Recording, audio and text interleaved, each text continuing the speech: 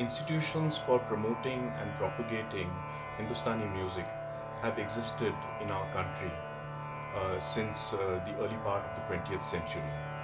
Uh, in fact, uh, some on a more informal basis have existed even in the late 19th century.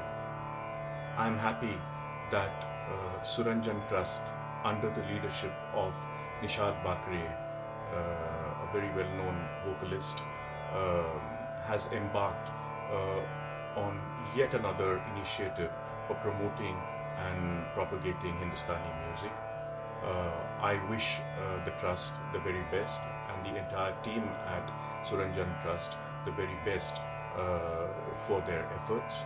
I hope that they will also continue uh, to review their original vision and uh, policy uh, from time to time in keeping with uh, the conditions of Hindustani music and the larger cultural context that we all uh, live in.